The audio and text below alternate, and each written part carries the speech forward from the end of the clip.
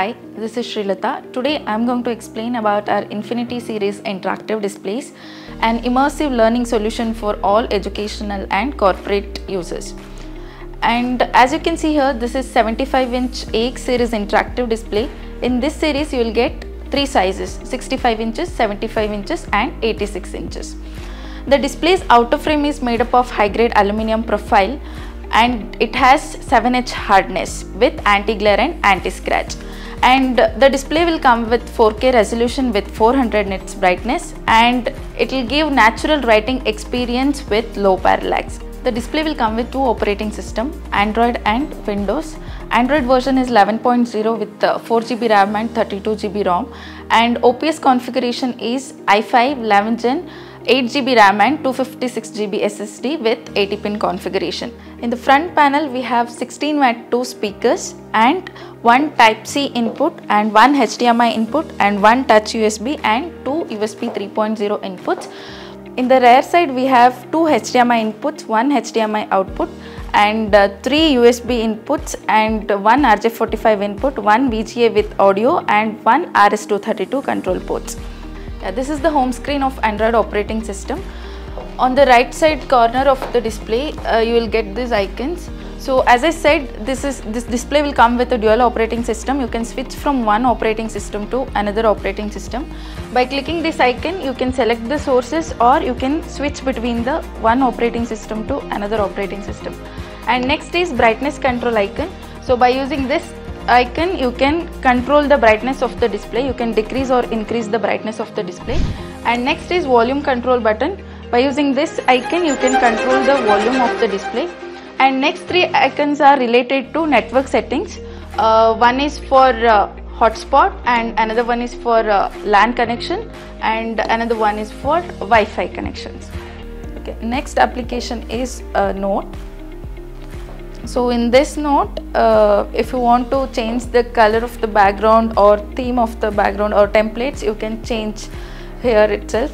So if you want to change the template you can choose any template and click on ok. Uh, that will get changed. And if you want to change the background color you can change the color and uh, you just need to click on ok. So the background will get changed. When you once you click on this whiteboard you will get all these features. Let us go one by one when you click on this right you will get different types of pens. Pencil brush and magic pen. So you can change the thickness of the pen also. And in a single pen you can write it in two colors.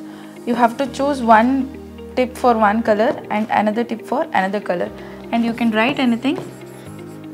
And you can highlight from another tip. You can use uh, two different colors in a single pen. And if you want to erase anything you can erase by palm or you can choose this eraser icon and you can erase the content. And you will be having redo undo options. So you can do that also. When you want to clear everything whatever you have written on the whiteboard when you want to clear it in a single click that time you have to press this clean. So it will get cleared in a single click. So next is ruler. When you click on this icon you will get mathematical tools like scale protractor set square. So when teachers want to draw a particular uh, shapes in with the accurate dimension that time they can use this maths tools. So you have to click on that and you can draw the line like this. You can increase the width of the scale and you can continue from there. So like this you can draw. Or if you want to draw an angle so you have to drag like this and you have to click on this then you can remove. So whatever the angle you want to draw you can draw from this by using this protractor. So this is about a ruler. Uh, when you click on this shape you will get 2d and 3d shapes. When teachers want to draw a circle or rectangular they just need to click on the circle and they have to drag like this. Or if it is a rectangular they have to click on the rectangular uh, icon and they have to drag like this. And when they want to show the 3d drawings that time they have to click on this 3d and they have to select the image and they just need to drag like drag like this. So this is all about the shapes. And next is pair mode. In this pair mode three different students can write it in a single time the single display will get divided into three screens. So three students can write at a time. When teachers want to show anything in the table format that time they can use this form icon. So in this you will get a table. So you can increase or decrease the columns or and rows. To that you have to select this select icon and you have to select the part and you just need to click on this plus symbol to add the uh, columns or minus symbol to delete the columns. And for rows also it is similar method. You have to click on plus or minus to add or delete the cells. And these cells will come with the auto adjustment. Whenever you have written on something it will get auto adjusted to the cell. So this is all about this uh, form when teachers want to show about this hierarchy classification that time you can use this mind map. You can add the cells or delete the cells here. And you can written anything on this and it will automatically recognize your word and you can choose the word from there. And like this you can add or delete the cells. This is all about mind map.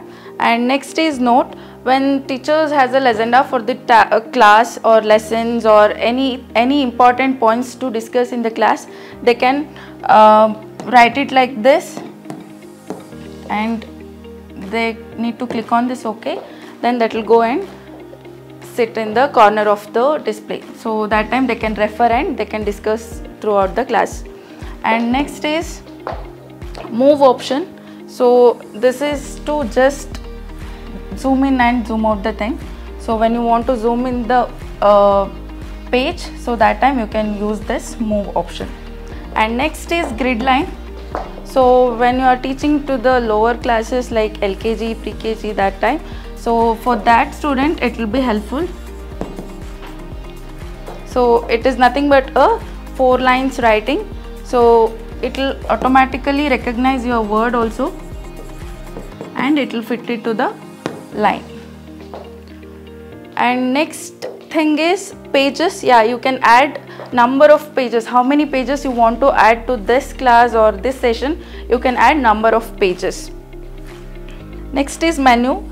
In this option you will get all these features. First one is new. When you want to open a new file that time you can use this uh, new icon uh, next option is open. When you want to open a pre-saved file that time you have to click on this open. And next is uh, save. Uh, when you want to save this current file so you have to click on this save. Next is import. When you want to import images or any other pdf file from this display storage that time you can use this import option. Now i am going to import this image from the downloads. So you just need to click on that import and it will automatically redirect it to this your storage. And just click on this download. Click on the image and click on this ok. So you'll get the image here. And you can explain it to the students whatever you want to explain. So this is about the import. And next is export. When you want to export this complete entire pages whatever you have written so when you want to export it you can export it in image format or uh, pdf format or svg format or in iwb uh, format. Uh, when you export it in iwb format you can rewrite it in another display also. If you export in image or pdf format uh, you can't rewrite in any other devices. So this is about export. Okay next is uh, cloud storage when you want to um, store this uh, entire thing in Google Drive or OneDrive, you, you will be having the access for that also. You just need to log into your Google Drive or OneDrive. You can store entire thing in that uh, cloud storage. And uh, next, if you want to send a mail directly, you just need to click on this send email. And next option is exit. When you want to exit from this current file or current page, uh, you just need to click on this exit exit option and uh, next is share. So when you want to export this entire pages to the students phones you just need to click on this share. So you will get a qr code. The students uh, need to scan this qr code and uh, they'll get all these pages in their phones in a uh, image format. And uh, next option is list. Uh, this is nothing but a you can find a pre-save files here so if you want to uh, continue the previous classes or previous sessions you just need to click on this and you can continue the uh, previous uh, content and next option is timer. When the teachers want to conduct any time based activities or any test that time they can use this timer. They can set the time here. Maximum time limit will be 24 hours. So first digit is hours and second is minute and third one is seconds. So they can set the time here and uh, they can click on the start button. There will be one more option. If they want a, a ring when the time is finished that time they can enable this ring when time is over or else they can disable it. So i'll just show in, show you an example. So this is the bell ring you will get once you finished with the time. Next option is a stopwatch. It is similar to timer so by using this stopwatch you can record the students time whoever finishes the test or activities. So by clicking this you can record the timings. Next option is uh, spotlight. So when you want to highlight anything on this board so that time you can use this uh, spotlight. So you can increase or decrease the size of the spotlight and you can use it like this when you want to highlight any particular thing or any particular image so that time you can use this uh, spotlight icon. Next feature is air class. This is also one of the uh, important feature for the classroom application. So when teachers want to conduct a test uh, in a classroom so that time they can uh, use this air class features okay in this air class we have uh, all these features. First one is otter. In this otter uh, we have two uh, options. One is single choice and another one is multiple choice. In single choice uh, teacher has to display the question with uh, multiple choice. So students can answer only one option. So when we click on this begin the test will start so in the same time you can uh, uh, you can find here like how many uh, students has joined or how many students has answered the questions. So when you click on this finish, so the result will be displayed here. When teachers uh, cl uh, click on the right answer, so uh, the correct answer will show it in green color and the wrong answer will show it in red color.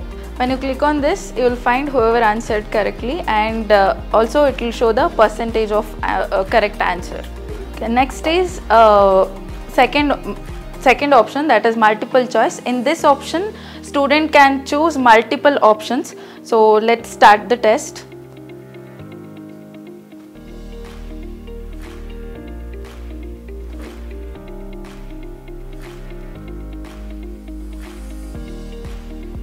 Okay uh, here it is showing how many uh, student has answered the question. So we'll finish the test. So here you are getting the result. So i am going to click on this the right answer. So here also it is showing like who like whoever answered correct and uh, it is showing the percentage also. In case there are two right options so you have to click on one more option. I mean you have to choose uh, the correct option so that time it will show it in green color. So when you click on this it will show whoever answered correct answer. And next option is selector. So when teachers wants to choose this uh, students randomly so that time they can use this selector. So here i am choosing two students because uh, eight student has joined here. So i can choose up to eight student in this scenario. So here i am choosing two students. When i click on this start yeah two names are displayed here. So teachers can call these two names for any activities. Okay next option is message. So when students wants to ask some question during the classes so that time they can uh, send a query or question to the teachers. So that question will be displayed on the uh, uh, this display.